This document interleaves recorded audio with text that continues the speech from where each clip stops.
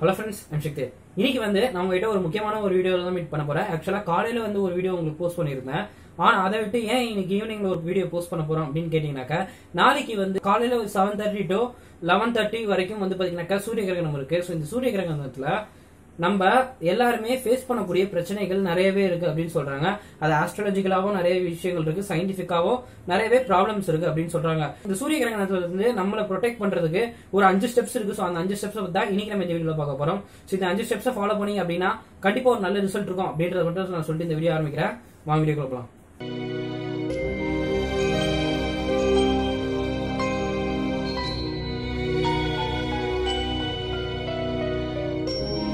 So சூரிய கிரகணம் அப்படின்னு நம்ம எடுத்துக்கிட்டோம் அப்படின்னா அது மொத்தம் மூணு ஸ்டேஜ்ல இருக்கும். ஃபர்ஸ்ட் ஒன் என்னன்னா சூரியனை வந்து நிலவு வந்து மறைக்க போகும்போது ஹாஃப் சன்னா தெரியும். இது வந்து பாத்தீங்கன்னா ஃபர்ஸ்ட் ஸ்டேஜ் அப்படின்னு சொல்றாங்க.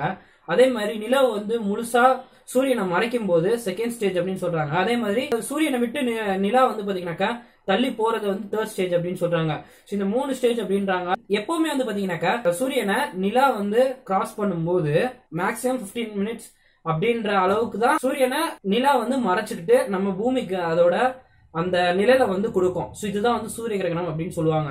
ஆனா இந்த வருஷம் வரக்கூடிய சூரிய கிரகணம் வந்து கிட்டத்தட்ட ரெண்டுல இருந்து மூணு மணி நேரம் வரைக்குமே அந்த கிரகணம் வந்து பாத்தீங்கன்னாக்கா அப்படியே தான் இருக்கும் அப்படின்னு சொல்றாங்க. அதாவது பிராங்கா சொல்லணும் அப்படின்னா சூரியனை வந்து நிலா வந்து மறைச்சிக்கிட்டே தான் இருக்கும் அப்படின்னு சொல்றாங்க. இது வந்து ஆபத்தான ஒரு காலம் அப்படின்னு தான் நம்ம சொல்ல முடியும். ஏன்னா வந்து இது வந்து முப்பத்தி ஒரு வருஷத்துக்கு ஒரு தடவை மட்டும் தான் இந்த மாதிரியான ஒரு சூரிய கிரகணம் வரும் அப்படின்னு சொல்லியிருக்கிறாங்க. ஸோ அந்த சூரிய கிரகணம் வந்து இப்போ வந்திருக்கு. இதுக்கு அடுத்து நீங்க பார்க்கணும் அப்படின்னா முப்பத்தி ஒரு வருஷம் நீங்க காத்துட்டு இருந்தா மட்டுமே பார்க்க முடியும். ஸோ இதுல இருந்து காப்பாத்துறதுக்கு நம்மளோட முன்னோர்கள் வந்து ஒரு சில வழிமுறைகளை வந்து சொல்லிட்டு போயிருக்காங்க. ஒரு அஞ்சு ஸ்டெப்ஸ் ஸோ அந்த அஞ்சு ஸ்டெப்ஸ் பத்தி தான் சொல்ல போறேன் இன்னைக்கு நம்ம இந்த வீடியோல. முதல் விஷயம் எது அப்படின்னா நீங்க இப்போ பிரெக்னென்ட் லேடிஸா இருந்தீங்க அப்படின்னா இப்போ ஃபுட் சாப்பிடணும் அப்படின்னா கிரகணத்துக்கு முன்னாடியே சாப்பிட்டுருங்க. ஏன்னா கிரகணத்துக்கு முன்னாடி ஒரு த்ரீ டு சிக்ஸ் தேர்ட்டி அந்த டைம்ல வந்து உங்களோட கா மார்னிங் ஃபுட்டு ஏதாவது முடிச்சிட்டீங்க அப்படின்னா கரெக்டா இருக்கும். ஏன்னா வந்து இந்த டைம்ல வந்து பாத்தீங்கன்னாக்கா நீங்க அதிகமா சாப்பிடக்கூடாது அப்படின்னு சொல்றாங்க. ஏன்? பிரெக்னென்ட் லேடிஸ்ன்னு பேசிக்கா இல்ல. நம்ம யாருமே வந்து சாப்பிடக்கூடாது மோஸ்ட்லி ஏன்னா இந்த டைம்ல வந்து டைஜஷன் ப்ராப்ளம் இருக்கும் அப்படின்றாங்க. நம்மளோட உடம்பு வந்து நம்மளோட செயல்பாட்டையே மீறி செயல்பட ஆரம்பிக்கும். அப்படின்றது தான் ஃபர்ஸ்ட் ஸ்டெப்பு ஸோ அதனால் வந்து முடிஞ்ச அளவுக்கு வந்து காலையில் காலையில் சூரியகிரகணம் ஆரம்பிக்கிறதுலேருந்து லெவன் தேர்ட்டிக்கு வந்து முடியிற வரைக்கும் நீங்கள் வந்து எதுவுமே சாப்பிடாம ஃபுட்டை வந்து அவாய்ட் பண்ணுறது நல்லது. ஸோ செகண்ட் விஷயம் எது அப்படின்னா முடிஞ்ச அளவுக்கு நீங்கள் வந்து வீட்டை விட்டு வெளியே போகாமல் இருக்கதே உங்களுக்கு நல்லது அப்படின்னு தான் நம்ம சொல்ல முடியும். ஏன்னா இந்த டைமில் வந்து பார்த்தீங்கன்னாக்கா அதிகமான ஒரு கதிர்வீழ்ச்சி அதிகமாக இருக்கும் அப்படின்னு சொல்கிறாங்க ஏற்கனவே நம்ம நம்ம எல்லாருக்குமே தெரியும் அக்னி நட்சத்திரம் அப்படின்ற ஒன்று கேள்விப்பட்டிருப்போம். அந்த டைம்ல வந்து ஒரு பன்னெண்டு நாள் இருபது நாள் அக்னி நட்சத்திரம் இருந்துச்சு அப்படின்னா வெளியே போறதுக்கு ரொம்ப ரொம்பவே பயப்படுவோம். ஏன்னா வெயில் வந்து அப்போ ஒன்றுக்கு நூறு மடங்கு வந்து பார்த்தீங்கன்னாக்கா வெயில் வந்து அதோட ரேஸ் வந்து பூமியில வந்து விடுவோம் ஸோ அந்த மாதிரி இப்போ நாளைக்கு வரப்போற இந்த கிரகணத்துல அப்போ வரப்போற அந்த வெயில் வந்து சமம் அப்படின்னு சொல்றாங்க. ஸோ அதனால முடிஞ்ச அளவுக்கு வந்து வெளியே போறதை வந்து தடுத்துக்கோங்க. இந்த கிரகணத்துல இந்த ஹீட்டை வந்து நம்மளுக்கு தாங்கணும் அப்படின்னா வீட்டுக்கு வெளியே வந்து கொஞ்சம் தர்ப்பப்புல்ல வந்து கட்டி தொங்கணும் அப்படின்ட்டு சொல்றாங்க. அதே மாதிரி கையில வந்து கொஞ்சம் தர்ப்பப்புல்ல வந்து வச்சுக்கோங்க அப்படின்னு சொல்றாங்க. ஏன்னா பேசிக்காவே நிறைய எந்த ஒரு பூஜை பண்ணாங்க அப்படின்னாலுமே கர்ப்பப்புல வந்து தரது அது வந்து பாத்தீங்கன்னாக்கா ஒரு ஐதீகம் அது.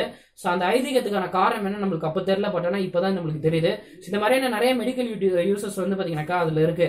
இன்னும் ஃப்ராங்கா சொல்லணும் அப்படின்னா பாய்சனை வந்து முறிக்கக்கூடிய தன்மை வந்து அந்த தர்ப்ப புல்லு இருக்கு அப்படின்னு சொல்றாங்க. ஸோ முடிஞ்ச அளவுக்கு தர்ப்ப புல்லை வாங்கி கையில நாளைக்கு வச்சுக்கிட்டது உங்களுக்கு நல்லது. உங்க உடம்புல இருக்க ஹீட்டும் குறையிறதுக்கு வாய்ப்புகள் அதிகமாக இருக்கு. தெரிஞ்சுக்கோங்க. இதான் ரெண்டாவது விஷயம்.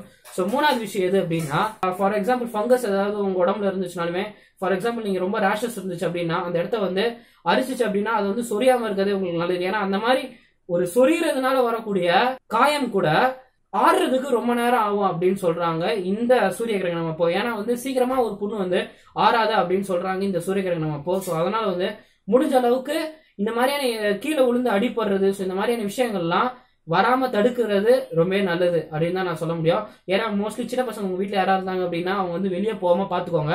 ஏன்னா வெளியே போய் கீழே விழுந்தாங்க அப்படின்னா அந்த காயம் மாறதுக்கு ரொம்ப நாள் ஆகும். இது வரைக்கும் நம்ம பார்த்த மூணுமே வந்து சயின்டிபிக்கலி ப்ரூவ்டான ஒரு சில விஷயங்கள் இருந்துச்சு அப்படின்னாலுமே இதுக்கு அடுத்து நம்ம பார்க்க போற ரெண்டுமே வந்து பாத்தீங்கன்னாக்கா ஆஸ்ட்ராலஜிக்கலுக்குள்ள கொஞ்சம் போற மாதிரி இருக்கும். ஸோ இதுக்காக நீ ஜோதிஷக்காரனடா அப்படின்னு கேட்டீங்கன்னாக்கா நான் ஜோசியக்காரன் கிடையாது.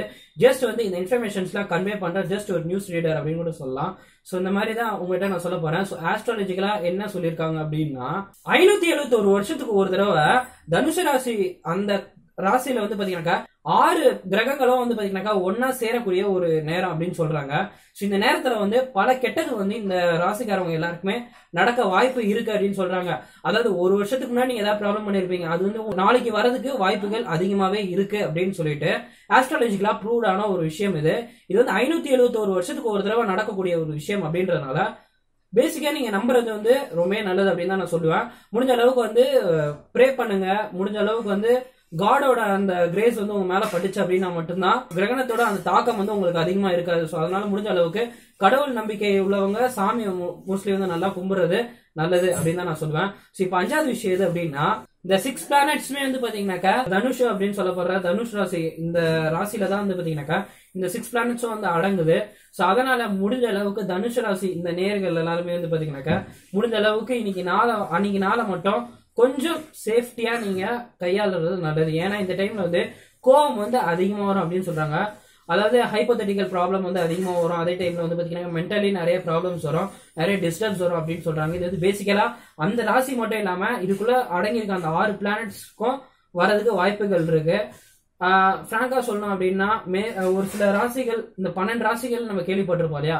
அந்த பன்னெண்டு ராசிகள்ல ஒரு நாலு ராசி விட்டுட்டு அதை தவிர மீதி இருக்கிற எல்லா ராசிகளும் வந்து பாத்தீங்கன்னாக்கா ப்ராப்ளம் நாளைக்கு இருக்கும் அப்படின்னு சொல்றாங்க. முடிஞ்ச அளவுக்கு வெளியே வந்து யாருமே போகாம தடுத்துக்கோங்க அதான் நான் உங்ககிட்ட சொல்ல வேண்டிய ஒரு விஷயம்.